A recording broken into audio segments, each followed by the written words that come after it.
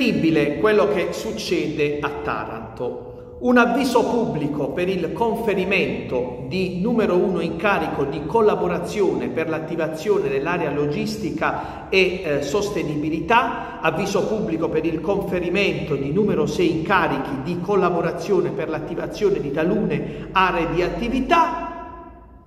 C'è l'avviso di convocazione per il colloquio orale e chi è uno dei candidati per l'area relazioni istituzionali e rapporti con gli enti locali? Indovinate un po' chi è questo candidato al colloquio orale? Qualche secondo di suspense?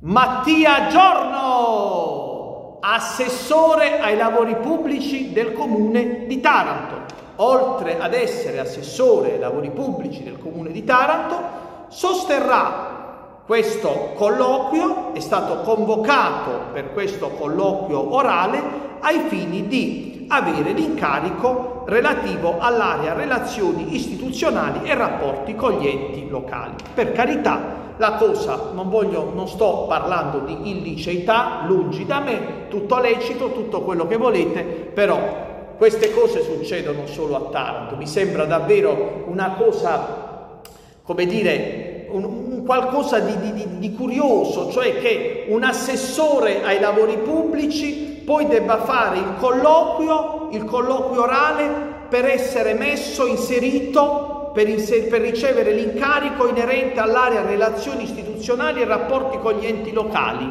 Ma scusate, ma a Taranto Mattia Giorno non poteva fare l'assessore ai lavori pubblici e basta? Non sarebbe opportuno che questa, questo incarico, magari di questo incarico beneficiasse qualche anno, ammesso che superi il colloquio Mattia Giorno, ma dico, non sarebbe, oppor- non sarebbe stato e non sarebbe opportuno che qualche altra persona eventualmente ricoprisse questo incarico, perché ci sono tanti giovani laureati che hanno fatto master, che hanno fatto eh, scuole di specializzazione e quant'altro. Ma signori cari, alla fine vediamo qui a Taranto, al comune di Taranto, gira e gira, sono sempre le stesse persone.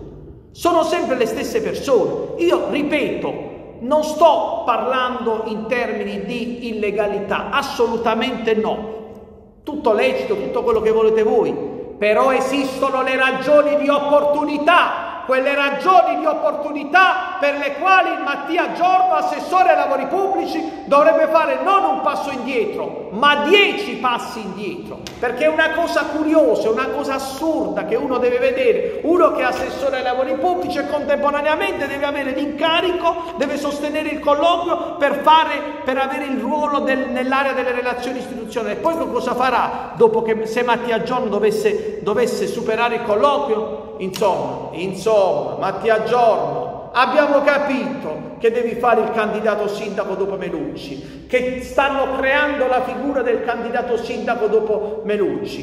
Però, Mattia Giorno, lascia spazio a qualche altro, ci sono tanti giovani capaci.